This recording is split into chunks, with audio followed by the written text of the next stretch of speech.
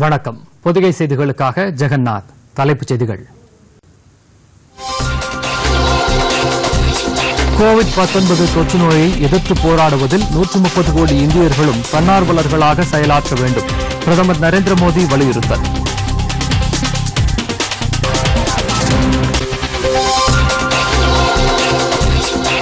Covid பத்தொன்பது தொற்று தடுப்பு மற்றும் தற்போதைய சூழல் குறித்து அபுதாபி இளவரசருடன் பிரதமர் நரேந்திர மோடி ஆலோசனை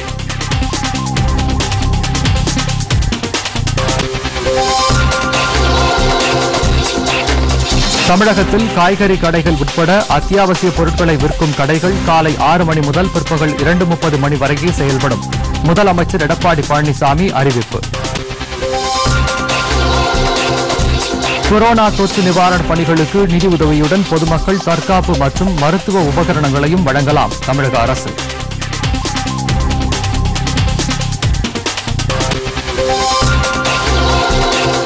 கோவிட் தடுப்பு நடவடிக்கைகளுக்கு உதவும் வகையில் ஐந்தடுக்கு முகக்கவசங்கள் கிருமி நாசினி திரவத்தை தயாரிக்கிறது பாதுகாப்பு ஆராய்ச்சி மற்றும் மேம்பாட்டு நிறுவனம்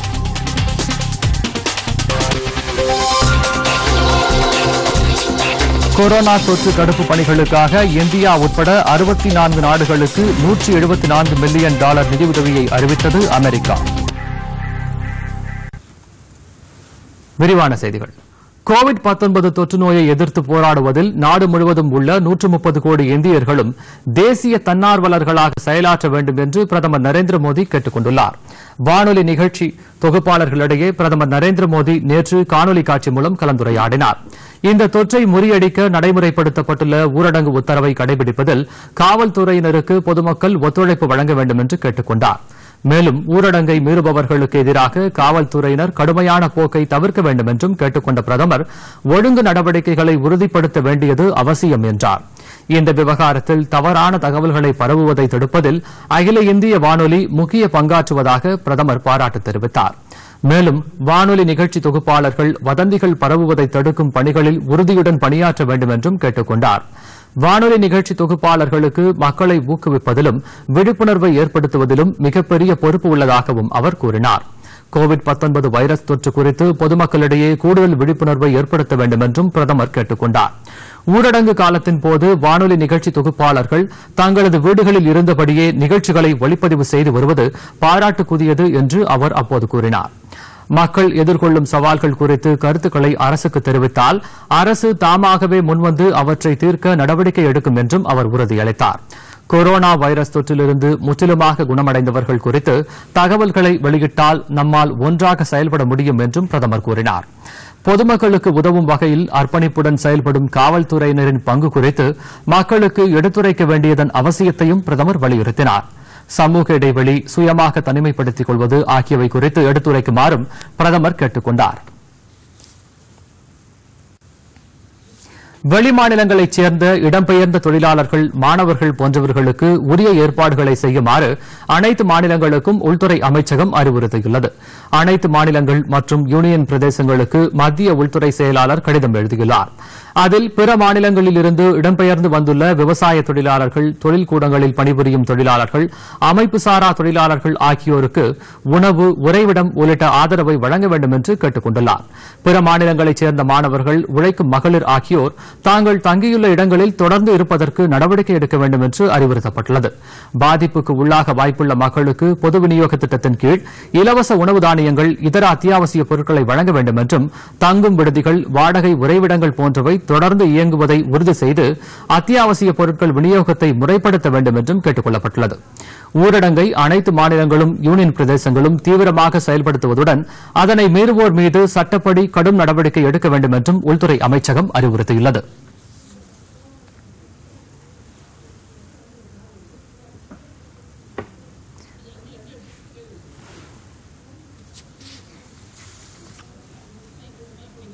பொதுமக்களுக்கு அத்தியாவசிய சேவைகள் தடையின்றி கிடைப்பதை உறுதி செய்ய ஒன்பது சிறப்பு குழுக்களை அமைத்து முதலமைச்சர் எடப்பாடி பழனிசாமி உத்தரவிட்டுள்ளார் நாடு தழுவிய ஊரடங்கு உத்தரவால் பொதுமக்களுக்கு அனைத்து அத்தியாவசிய சேவைகளும் தடையின்றி கிடைப்பதை உறுதிப்படுத்த ஐஏஎஸ் அதிகாரிகளை கொண்ட ஒன்பது குழுக்களை அமைக்க முதலமைச்சர் எடப்பாடி பழனிசாமி உத்தரவிட்டிருந்தார் அதன்படி அமைக்கப்பட்ட குழுவின் முதல் கூட்டம் தலைமைச் செயலாளர் சண்முகம் தலைமையில் தலைமைச் செயலகத்தில் நடைபெற்றது அப்போது ஒவ்வொரு குழுவின் செயல்பாடுகள் குறித்தும் தலைமைச் செயலாளர் எடுத்துரைத்தார் இதன்படி மத்திய மற்றும் மாநில அரசுகளுக்கு இடையே ஒருங்கிணைப்பை ஏற்படுத்தும் பணியை ஐஏஎஸ் அதிகாரி செந்தில்குமார் தலைமையிலான குழு மேற்கொள்ளும் என்று அவர் கூறினாா் இதேபோல் அத்தியாவசிய பொருட்களின் உற்பத்தி மற்றும் நுகர்வை ஒருங்கிணைத்தல் மாநில மற்றும் மாவட்ட அளவிலான அத்தியாவசிய பொருட்களின் விநியோகம்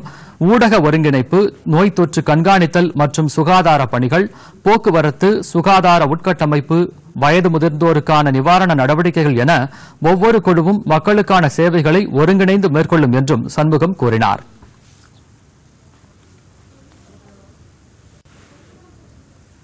தமிழகத்தில் அத்தியாவசிய மளிகை பொருட்கள் மற்றும் காய்கறி அங்காடிகள் காலை ஆறு மணி முதல் மதியம் இரண்டு முப்பது மணி வரையே செயல்பட வேண்டும் என்று முதலமைச்சர் எடப்பாடி பழனிசாமி உத்தரவிட்டுள்ளார்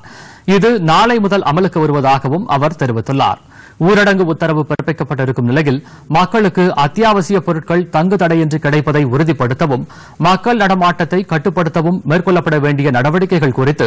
உயரதிகாரிகளுடன் முதலமைச்சர் எடப்பாடி பழனிசாமி நேற்று ஆலோசனை நடத்தினார் இதையடுத்து முதலமைச்சர் வெளியிட்டுள்ள செய்திக்குறிப்பில் கோயம்பேடு போன்ற மொத்த காய்கறி மற்றும் பழ அங்காடிகளுக்கு பொருட்களை ஏற்றி வரும் வாகனங்கள் மாலை ஆறு மணி முதல் அதிகாலை ஆறு மணிக்குள் பொருட்களை இறக்கிவிட வேண்டும் என்று அறிவுறுத்தப்பட்டுள்ளது கோயம்பேடு காய்கறி அங்காடி மற்றும் பிற காய்கறி விற்பனை கடைகள் அத்தியாவசிய மளிகைப் பொருட்கள் போன்றவற்றை விற்பனை செய்யும் கடைகள் காலை ஆறு மணி முதல் மதியம் இரண்டு முப்பது மணி வரை மட்டுமே செயல்பட வேண்டும் பெட்ரோல் பங்குகள் காலை ஆறு மணி முதல் மதியம் இரண்டு முப்பது மணி வரை மட்டுமே செயல்பட வேண்டும் மருந்தகங்கள் பார்சல் வழங்கும் வகையிலான உணவகங்கள் ஆகியவை எப்போதும் போல் செயல்படலாம் என்றும் முதலமைச்சர் அறிவித்துள்ளாா் இணையதளம் மூலமாக முன்பதிவு செய்து வீடுகளுக்கு சென்று உணவுகளை விநியோகம் செய்யும் நிறுவனங்களுக்கு அனுமதி அளிக்கப்படுகிறது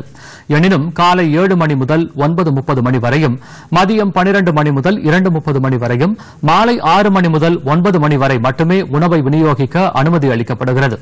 ஆதரவற்ற மக்களுக்கு உதவி செய்ய விரும்புவோர் சமைத்த உணவை விநியோகிக்க வேண்டாம் என்றும் சமைக்க தேவைப்படும் உணவுப் பொருட்களில் மற்றும் பிற பொருட்களை மாவட்ட அளவில் ஏற்படுத்தப்பட்டுள்ள தனிப்பிரிவிடம் வழங்கலாம் என்றும் தெரிவிக்கப்பட்டுள்ளது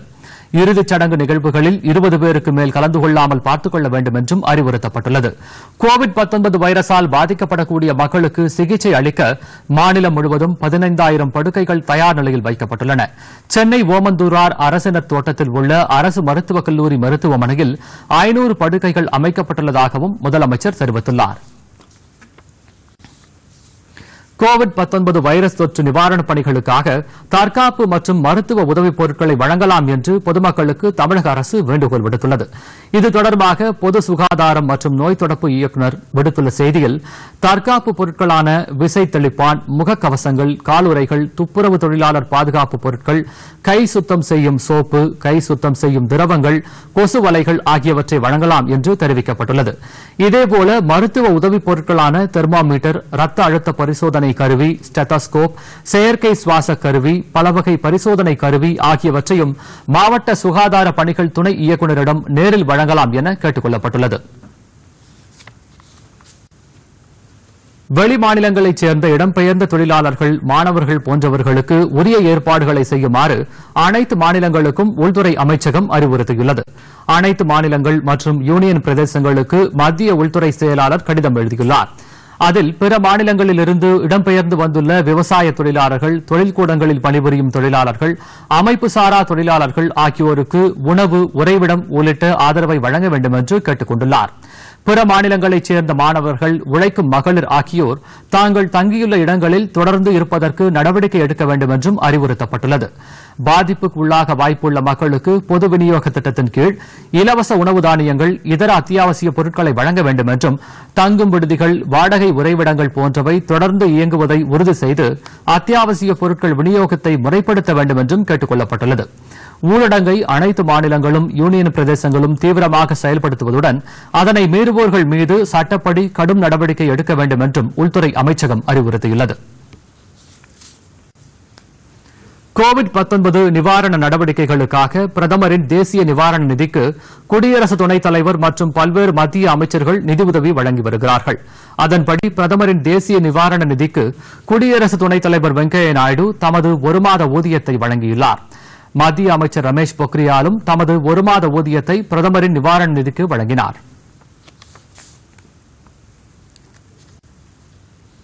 வெள்ளம் நிலச்சரிவு போன்ற இயற்கை பேரிடர் பாதிப்புகளுக்காக எட்டு மாநிலங்களுக்கு ஐயாயிரத்து எழுநூற்று ஐம்பத்து ஒரு கோடி ரூபாய் நிவாரண நிதி வழங்க மத்திய உள்துறை அமைச்சர் அமித்ஷா தலைமையிலான உயர்மட்ட குழு ஒப்புதல் அளித்துள்ளது வெள்ளம் நிலச்சரிவு புயல் வறட்சி போன்றவற்றால் பாதிக்கப்பட்ட மாநிலங்களுக்கு நிதியுதவி வழங்குவதற்கான உயர்மட்ட குழுவின் கூட்டம் அமித்ஷா தலைமையில் நடைபெற்றது அப்போது பீகாருக்கு தொள்ளாயிரத்து ஐம்பத்து மூன்று கோடி ரூபாய் வழங்க ஒப்புதல் அளிக்கப்பட்டது கேரளாவுக்கு நானூற்று அறுபது கோடி ரூபாயும் நாகாலாந்துக்கு நூற்றி எழுபத்தி ஏழு கோடி ரூபாயும் மகாராஷ்டிராவுக்கு ஆயிரத்து எழுநூற்று ஐம்பத்தி எட்டு கோடி ரூபாயும் வழங்க முடிவு செய்யப்பட்டது ஏற்கனவே மாநில பேரிடர் நிவாரண நிதியில் உள்ள ஐம்பது சதவீத நிதியை பயன்படுத்த வேண்டும் என்ற நிபந்தனையுடன் ஒட்டுமொத்தமாக எட்டு மாநிலங்களுக்கு தேசிய பேரிடர் நிவாரண நிதியிலிருந்து ஐந்தாயிரத்து எழுநூற்று ஐம்பத்து ஒரு கோடி ரூபாய் வழங்க ஒப்புதல் அளிக்கப்பட்டது நாட்டின் பொருளாதார வளர்ச்சிக்கு ரிசர்வ் வங்கி அறிவித்துள்ள முக்கிய அறிவிப்புகளை பிரதமர் நரேந்திர மோடி பாராட்டியுள்ளார் ரிசர்வ் வங்கி நேற்று வெளியிட்டுள்ள அறிவிப்புகள் கோவிட் பாதிப்புகளில் இருந்து பொருளாதாரத்தை பாதுகாக்க உதவிகரமாக இருக்கும் என்று டுவிட்டரில் பிரதமர் கூறியுள்ளாா் வட்டி வீதங்கள் குறைக்கப்பட்டிருப்பது ஒரு முக்கியமான நடவடிக்கை என்றும் அவர் தெரிவித்துள்ளார் ரிசர்வ் வங்கியின் இந்த அறிவிப்புகள் பணப்புழக்கத்தை மேம்படுத்துவதுடன் செலவினத்தை குறைக்கவும் நடுத்தர வகுப்பினர் மற்றும் வணிகர்களுக்கு உதவிகரமாக இருக்கும் என்றும் பிரதமர் தமது டுவிட்டர் பதிவில் குறிப்பிட்டுள்ளார்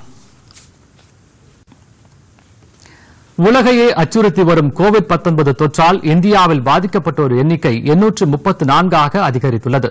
நாடு முழுவதும் இந்த தொற்று பாதிப்புக்கு பதினேழு பேர் உயிரிழந்துள்ளனா் அறுபத்தி ஆறு பேர் குணமடைந்து வீடு திரும்பியுள்ளதாக மத்திய சுகாதாரத்துறை தெரிவித்துள்ளது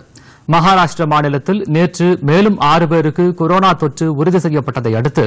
அந்த மாநிலத்தில் பாதிப்புக்குள்ளானோர் எண்ணிக்கை நூற்று ஐம்பத்து ஒன்பதாக அதிகரித்துள்ளது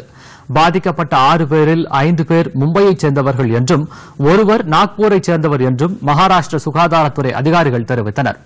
இதற்கிடையே கோவிட் தொற்று பரிசோதனைக்காக பதினைந்து தனியார் ஆய்வகங்களுக்கு அனுமதி வழங்கப்பட்டுள்ளதாக இந்திய மருத்துவ ஆராய்ச்சி கவுன்சில் கூறியுள்ளது இது தவிர நூற்றி இருபத்தி அரசு ஆய்வகங்களில் கோவிட் தொற்று தொடர்பான பரிசோதனை மேற்கொள்ளப்படுவதாகவும் அந்த கவுன்சில் வெளியிட்ட தகவல் தெரிவிக்கிறது இவற்றின் மூலம் ஒரு நாளைக்கு பனிரெண்டாயிரம் பேரின் மாதிரிகளை பரிசோதனை செய்ய முடியும் என்றும் தெரிவிக்கப்பட்டுள்ளது இதனிடையே தமிழகத்தில் கோவிட் தொற்றால் பாதிக்கப்பட்டோரின் எண்ணிக்கை முப்பத்தி எட்டாக அதிகரித்துள்ளது மேலும் நாற்பத்தி எட்டு பேர் தொடர் கண்காணிப்பில் இருப்பதாக மாநில சுகாதாரத்துறை தெரிவித்துள்ளது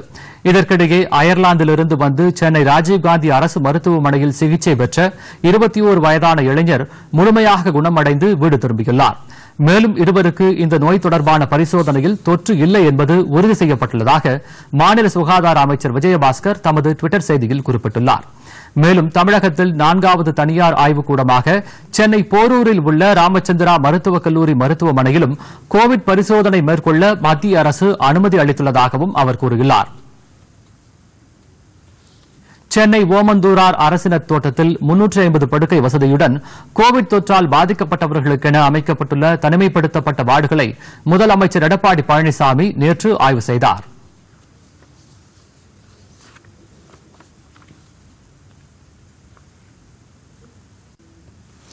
நாடு முழுவதும் சரக்கு போக்குவரத்து மூலம் அத்தியாவசிய பொருட்கள் கிடைப்பதை உறுதி செய்ய அனைத்து நடவடிக்கைகளையும் எடுத்துள்ளதாக ரயில்வே அமைச்சகம் விளக்கம் அளித்துள்ளது இது தொடர்பாக வெளியிடப்பட்டுள்ள செய்திக்குறிப்பில் நாடு முழுவதும் ஊரடங்கு அமல்படுத்தப்பட்ட போதும் நாட்டு மக்களின் நலனில் இந்திய ரயில்வே முழுமையான அக்கறையுடன் செயல்பட்டு வருவதாக தெரிவிக்கப்பட்டுள்ளது கடந்த நான்கு நாட்களில் ஒரு லட்சத்து அறுபதாயிரம் பெட்டிகளில் பொருட்கள் ஏற்றிச் செல்லப்பட்டு விநியோகிக்கப்பட்டுள்ளதாக குறிப்பிடப்பட்டுள்ளது ஒரு லட்சம் பெட்டிகளில் அத்தியாவசிய பொருட்களை ஏற்றிச் செல்லப்பட்டதாகவும் ரயில்வே அமைச்சகம் அமைச்சகம் தெரிவித்துள்ளது பல்வேறு சரக்கு வளாகங்கள் ரயில் நிலையங்கள் கட்டுப்பாட்டு அறை ஆகியவை இருபத்தி நான்கு மணி நேரமும் இயங்கி நாடு முழுவதும் அத்தியாவசிய பொருட்கள் விநியோகத்திற்கு பாதிப்பு ஏற்படாத வகையில் நடவடிக்கை எடுக்கப்பட்டுள்ளதாக ரயில்வே குறிப்பிட்டுள்ளது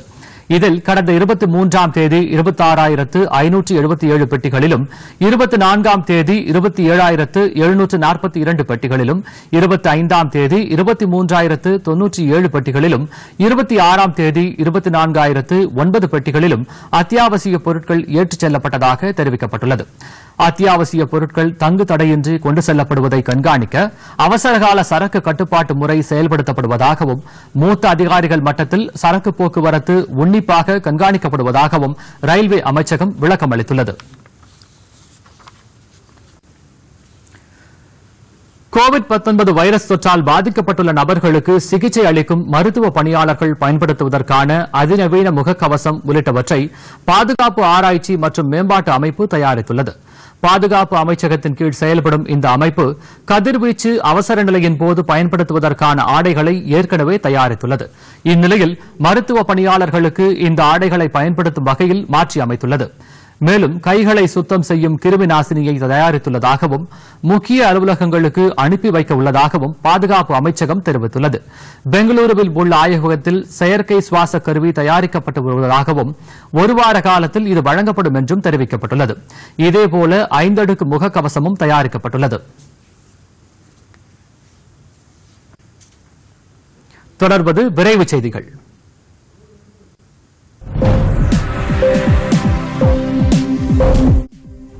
கோவிட் பத்தொன்பது வைரஸ் தொற்று பரவாமல் தடுக்க அரசு எடுத்து வரும் நடவடிக்கைகளுக்கு ஒத்துழைப்பு தர வேண்டும் என்று பொதுமக்களுக்கு தொழிலாளர் நலத்துறை அமைச்சர் நிலோஃபர் கபில் வணிக அமைச்சர் கே சி வீரமணி ஆகியோர் கோரிக்கை விடுத்துள்ளனர் ராணிப்பேட்டை மாவட்டத்தில் கோவிட் பத்தொன்பது வைரஸ் தாக்குதல் மற்றும் முன்னெச்சரிக்கை நடவடிக்கைகள் குறித்து நடைபெற்ற ஆலோசனைக் கூட்டத்தில் அமைச்சர்கள் கலந்து கொண்டனர் அப்போது அவர்கள் நூற்று நாற்பத்தி நான்கு தடை உத்தரவின் போது போலீசார் கூறும் அறிவுரைகளை மக்கள் ஏற்றுக்கொண்டு வீடுகளிலேயே இருக்க வேண்டும் என்று கேட்டுக் கொண்டனர் இந்தியா எடுத்து வரும் நடவடிக்கைகள் மூலம் வெளிநாடுகளை காட்டிலும் இந்தியாவில் பாதிப்பு குறைவாக இருப்பதாக அவர்கள் தெரிவித்தனர் நாடு முழுவதும் கோவிட் தொற்று தடுப்பு நடவடிக்கையாக ஊரடங்கு உத்தரவு பிறப்பிக்கப்பட்டதை தொடர்ந்து மத்திய நிதியமைச்சர் ஒரு லட்சத்து எழுபதாயிரம் கோடி ரூபாய் நிவாரண உதவி திட்டத்தை அறிவித்திருப்பதற்கு திமுக தலைவர் மு ஸ்டாலின் வரவேற்பு தெரிவித்துள்ளார் மேலும் வங்கிக் கடன் வசூலை தள்ளி வைப்பதற்கு ரிசர்வ் வங்கி எடுத்துள்ள நடவடிக்கையையும் திமுக சார்பில் வரவேற்பதாக ஸ்டாலின் வெளியிட்டுள்ள அறிக்கையில் கூறியுள்ளாா் கோவிட் பத்தொன்பது தடுப்பு மற்றும் நிவாரண நடவடிக்கைகளில் மத்திய மாநில அரசுகள் எடுத்து வரும் பல்வேறு நடவடிக்கைகளை திமுக வரவேற்பதாகவும் எனினும் தொழிலாளர்களுக்கான நிதியுதவியை தமிழக அரசு ஐந்தாயிரம் ரூபாயாக உயர்த்த வேண்டும் என்றும் அதில் கேட்டுக் கொண்டாா் புதுச்சேரியில் சுமார் பதினைந்து சதவீத மக்கள் ஊரடங்கு உத்தரவை மீறி வெளியில் நடமாடுவது வேதனை அளிப்பதாக முதலமைச்சர் வி நாராயணசாமி கூறியிருக்கிறார் சட்டப்பேரவை வளாகத்தில் செய்தியாளர்களிடம் பேசிய அவர் மக்கள் கூட்டமாக செல்வதை தவிர்த்து ஊரடங்கு உத்தரவை கட்டாயம் கடைபிடிக்க வேண்டும் என்று வலியுறுத்தினார் பொருட்களை அதிக விலைக்கு விற்பனை செய்யும் கடைகளின் உரிமம் ரத்து செய்யப்படும் என்றும் அவர் கூறினார் மேலும் இந்திய ரிசர்வ் வங்கி கடன்களுக்கான தவணையை மூன்று மாதத்திற்கு ஒத்திவைத்திருப்பதை தாம் வரவேற்பதாகவும் நாராயணசாமி தெரிவித்தார் தருமபுரி மாவட்டத்தில் குடும்ப அட்டைதாரர்களுக்கு ஏப்ரல் மாதத்திற்கான பொருட்கள் வீடு வீடாக சென்று வழங்கப்படும் என்று மாவட்ட ஆட்சியர் மலர்விழி தெரிவித்துள்ளார் கேரளாவில் பணிபுரிந்து திரும்பியவர்கள் பாப்பிரெட்டி வட்டத்தில் உள்ள கவுகம்பாடி கிராமத்தில் தனிமைப்படுத்தி கண்காணிக்கப்பட்டு வருகின்றனர் இதனை நேரில் பார்வையிட்ட பின்னர் செய்தியாளர்களிடம் பேசிய மாவட்ட ஆட்சியர் மலர்விழி வெளிநாடு மற்றும் வெளி மாநிலங்களில் இருந்து வந்த முன்னூற்று தொன்னூற்றி ஆறு பேர் வீடுகளில் தனிமைப்படுத்தப்பட்டு கண்காணிக்கப்படுவதாக தெரிவித்தாா் அத்தியாவசிய பொருட்கள் மக்களுக்கு தங்கு தடையின்றி கிடைப்பது உறுதி செய்யப்பட்டுள்ளதாகவும் விலையில்லா அரிசி பருப்பு சர்க்கரை உள்ளிட்ட நியாய விலை கடைகளில் வழங்கக்கூடிய அத்தியாவசிய பொருட்களுடன் ஆயிரம் ரூபாய் ரொக்கம் மக்களுக்கு வீடு வீடாக சென்று இரண்டாம் தேதி முதல் வழங்கப்படும் என்றும் ஆட்சியர் தெரிவித்தார் கோவிட் வைரஸ் தொற்று குறித்து கண்காணிப்பு மற்றும் விழிப்புணர்வு பணிகளுக்காக தஞ்சாவூர் மாவட்டத்தில் ஆயிரத்து நூற்று எண்பத்தி மூன்று குழுக்கள் அமைக்கப்பட்டுள்ளன மாவட்டம் முழுவதும் இந்த குழுவினர் கண்காணிப்பு மற்றும் விழிப்புணர்வு பணிகளில் ஈடுபட்டு வருகின்றனர் வெளி மாநிலம் மற்றும் வெளிநாடுகளுக்கு சென்று வந்த எழுநூறுக்கும் மேற்பட்ட நபர்களை இந்த குழுவினர் கண்காணித்து வருகின்றனர் இதனிடையே திருவண்ணாமலை மாவட்டத்தில் பொதுமக்களுக்கு விழிப்புணர்வு ஏற்படுத்தும் வகையில் இருநூற்றி ஐம்பது பேருந்துகள் இயக்கப்படுகின்றன இந்த சேவையை தொடங்கி வைத்த மாவட்ட ஆட்சியர் கந்தசாமி எண்ணூற்றி அறுபது கிராம ஊராட்சிகளுக்கும் சுகாதார பணியாளர்கள் பயணம் மேற்கொண்டு மக்களுக்கு விழிப்புணர்வை ஏற்படுத்துவார்கள் என்றார் இதனிடையே திருவண்ணாமலை மாவட்டத்தில் நூற்று நாற்பத்தி நான்கு தடை உத்தரவை மீறியதாக நானூற்று எழுபத்தி எட்டு வழக்குகள் பதிவு செய்யப்பட்டு ஐநூற்று தொன்னூற்றி ஓரு பேர் கைது செய்யப்பட்டுள்ளனர் நானூற்று தொன்னூற்றி ஆறு இருசக்கர வாகனங்கள் நான்கு நான்கு சக்கர வாகனங்கள் ஒரு ஆட்டோ ஆகியவை பறிமுதல் செய்யப்பட்டன சமையல் எரிவாயு சிலிண்டர்களை கூடுதல் விலைக்கு விற்ற தனியார் நிறுவனத்திற்கு அதிகாரிகள் சீல் வைத்தனர் ஈரோடு மாவட்டம் தாளவாடி மலைப்பகுதியில் உள்ள தமிழக எல்லைப் பகுதிக்கு இருபத்தி ஏழு வாகனங்களில் வந்த அறுநூறுக்கும் மேற்பட்டோரை போலீசார் தடுத்து நிறுத்தி விசாரணை மேற்கொண்டனர் நாடு தழுவிய ஊரடங்கு உத்தரவு அமலில் உள்ள நிலையில் காரப்பள்ளம் சோதனை சாவடியில் இந்த வாகனங்களை போலீசார் நிறுத்தினர் இதையடுத்து நடத்தப்பட்ட விசாரணையில் ராமநாதபுரம் மாவட்டத்தைச் சேர்ந்த மீனவர்கள் என்பதும் கடந்த சில நாட்களுக்கு முன்பு மீன்பிடி தொழிலுக்காக கர்நாடக மாநிலம் மங்களூருக்கு சென்றதும் தெரியவந்தது தற்போது சொந்த ஊருக்கு திரும்பிச் செல்வதாக அவர்கள் தெரிவித்தனர் எனினும் அனைவருக்கும் மருத்துவ சோதனை நடத்தப்பட்ட பின்னரே தமிழக எல்லைக்குள் அனுமதிக்கப்படுவார்கள் என்று சுகாதாரத்துறையினர் தெரிவித்தனர் நாகூர் தர்கா வாசலில் உணவில்லாமல் தவித்த ஆதரவற்றோருக்கு சமூக ஆர்வலர்கள் உணவு வழங்கி ஆதரவு அளித்தனர் நாகை மாவட்டத்தில் சுற்றுலா தலங்கள் மூடப்பட்டதால் அங்கிருந்து வெளியேற்றப்பட்ட ஏழைகள் மற்றும் மனநலம் பாதிக்கப்பட்டவர்கள் பொது இடங்களில் தங்கி வருகின்றனர் உணவு இல்லாமல் அவர்கள் தவித்து வரும் நிலையில் நாகூர் தர்கா முன்பு இருந்த ஐம்பதுக்கும் மேற்பட்ட ஆதரவற்றோருக்கு நாகூரைச் சேர்ந்த சமூக ஆர்வலர்கள் உணவு வழங்கினார்கள் இதேபோல கடற்கரை உள்ளிட்ட இடங்களில் தவிப்பவர்களுக்கும் உணவு வழங்கி வருகின்றனர் கோவிட் பத்தொன்பது வைரஸ் தொற்று காரணமாக இந்த ஆண்டுக்கான நீட் தேர்வு ஒத்திவைக்கப்படுவதாக மத்திய அரசு அறிவித்துள்ளது மே மூன்றாம் தேதி நடைபெறவிருந்த இந்த தேர்வு மே மாத இறுதி வரை ஒத்திவைக்கப்பட்டுள்ளதாக மத்திய மனிதவள மேம்பாட்டுத்துறை அமைச்சர் ரமேஷ் பொக்ரியால் தெரிவித்துள்ளார் இதனிடையே முதுநிலை மற்றும் முனைவர் பட்ட படிப்புகளுக்கு விண்ணப்பிப்பதற்கான காலக்கெடுவை ஏப்ரல் இருபதாம் தேதி வரை தில்லி ஐஐடி நீட்டித்துள்ளது அடுத்த கல்வியாண்டு மாணவர் சேர்க்கைக்கு உள்நாட்டு மாணவர்கள் மார்ச் முப்பதாம் தேதி வரையும் வெளிநாடுகளைச் சேர்ந்த மாணவர்களும் முப்பத்தி ஓராம் தேதி வரையும் விண்ணப்பிக்கலாம் என்று அறிவிக்கப்பட்டிருந்தது அடுத்து வருவது உலகச் செய்திகள்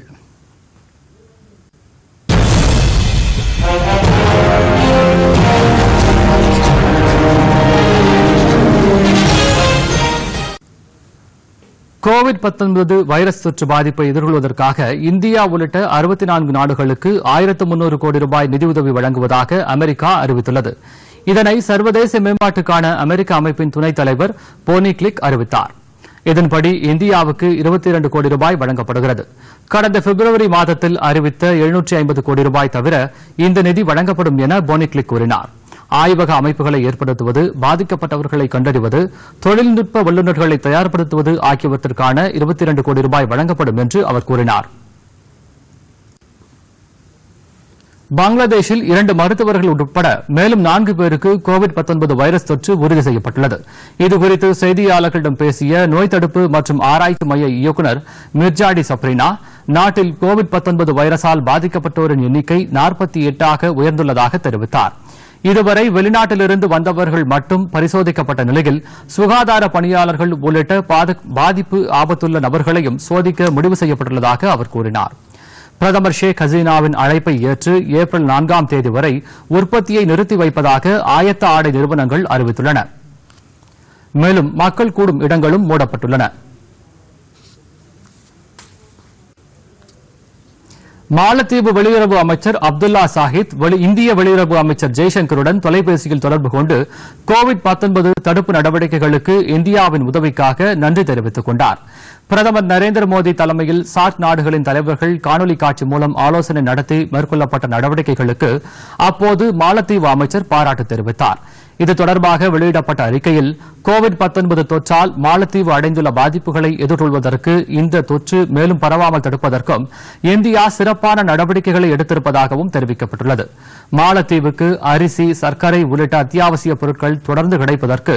இந்தியா உறுதி பூண்டுள்ளதாகவும் இந்த உரையாடலின் போது ஜெய்சங்கர் உறுதியளித்ததாகவும் அந்த அறிக்கை கூறுகிறது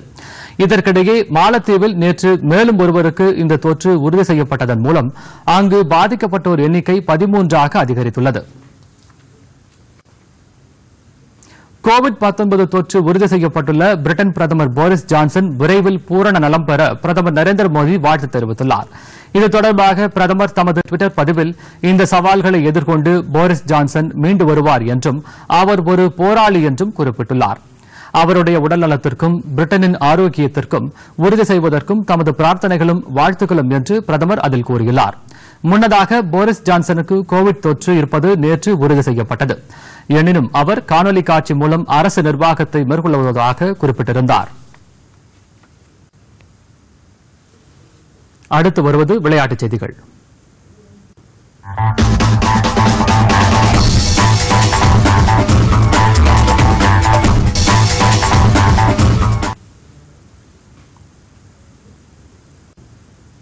டோக்கியோ ஒலிம்பிக் போட்டிகள் அடுத்த ஆண்டுக்கு ஒத்திவைக்கப்பட்டுள்ள நிலையில் புதியதாக தேதியை முடிவு செய்வதில் பல்வேறு நாடுகளின் விளையாட்டு அமைப்புகளிடையே முரண் ஏற்பட்டுள்ளதாக உலக தடகள சங்க தலைவர் செபாஸ்டியன் கோ தெரிவித்துள்ளார்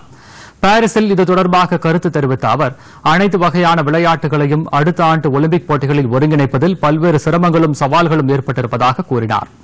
இதன் காரணமாக அடுத்த ஆண்டு ஒலிம்பிக் போட்டிக்கான தேதிகளை முடிவு செய்வதில் இதுவரை தீர்வு ஏற்படவில்லை என்று கூறினாா் அடுத்த ஆண்டு உலக தடகள சாம்பியன் போட்டிகள் நடைபெறவுள்ள நிலையில் ஒலிம்பிக் போட்டிகளும் நடைபெறுவதால் இந்த சவால்கள் ஏற்பட்டிருப்பதாக தெரிவித்த அவர் இறுதி முடிவு எடுக்கப்பட்ட பின்னரே ஒலிம்பிக் போட்டிகள் குறித்த அட்டவணையை வெளியிட முடியும் என்று செபாஸ்டியன் கோ தெரிவித்தாா் கோவிட் தொற்று பாதிப்பு நடவடிக்கைகளுக்காக பல்வேறு தரப்பினரும் பிரதமரின் நிவாரண நிதிக்கு நிதியுதவி அளித்து வரும் நிலையில் பிரபல கிரிக்கெட் ஆட்டக்காரர் சச்சின் டெண்டுல்கர் பிரதமரின் நிவாரண நிதி மற்றும் மகாராஷ்டிர முதல்வரின் நிவாரண நிதிக்கு தலா இருபத்தி ஐந்து லட்சம் ரூபாய் வழங்கியுள்ளார் பிசிசிஐ தலைவர் கங்குலி ஏற்கனவே ஐம்பது லட்சம் ரூபாய் மதிப்புள்ள அரிசியை கொல்கத்தாவில் வசிக்கும் ஆதரவற்றோருக்கு வழங்கினாா் இந்நிலையில் சச்சின் டெண்டுல்கர் ஐம்பது லட்சம் ரூபாய் நிதியுதவி வழங்கியிருப்பது குறிப்பிடத்தக்கது உலக பேட்மிண்டன் வீராங்கனை பி வி சிந்து ஆந்திரா மற்றும் தெலங்கானா மாநில அரசுகளுக்கு தலா ஐந்து லட்சம் ரூபாய் வழங்கியதும் குறிப்பிடத்தக்கது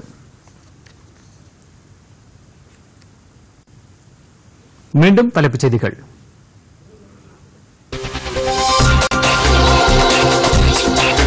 கோவிட் தொற்றுநோயை எதிர்த்து போராடுவதில் நூற்று முப்பது கோடி இந்தியர்களும் தன்னார்வலர்களாக செயலாற்ற வேண்டும் பிரதமர் நரேந்திர மோடி வலியுறுத்தல்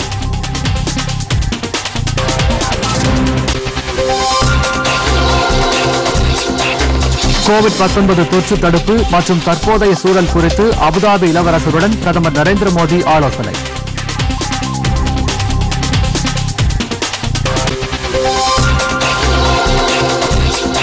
தமிழகத்தில் காய்கறி கடைகள் உட்பட அத்தியாவசிய பொருட்களை விற்கும் கடைகள் காலை ஆறு மணி முதல் பிற்பகல் இரண்டு முப்பது மணி வரையே செயல்படும் முதலமைச்சர் எடப்பாடி பழனிசாமி அறிவிப்பு கொரோனா தொற்று நிவாரணப் பணிகளுக்கு நிதியுதவியுடன் பொதுமக்கள் தற்காப்பு மற்றும் மருத்துவ உபகரணங்களையும் வழங்கலாம் தமிழக அரசு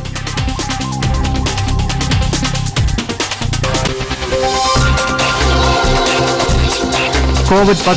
தடுப்பு நடவடிக்கைகளுக்கு உதவும் வகையில் ஐந்தடுக்கு முகக்கவசங்கள் கிருமி நாசினி திரவத்தை தயாரிக்கிறது பாதுகாப்பு ஆராய்ச்சி மற்றும் மேம்பாட்டு நிறுவனம்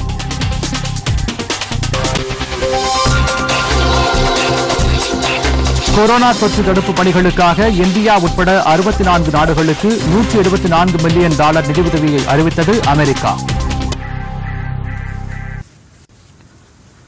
பொதிகை செய்திகளை யூடியூபில் தமிழ் நியூஸ் தூர்தர்ஷன் என்ற சேனலிலும் ட்விட்டரில் Tamil news Doordarshan at DD news Chennai என்ற பக்கத்திலும் காணலாம்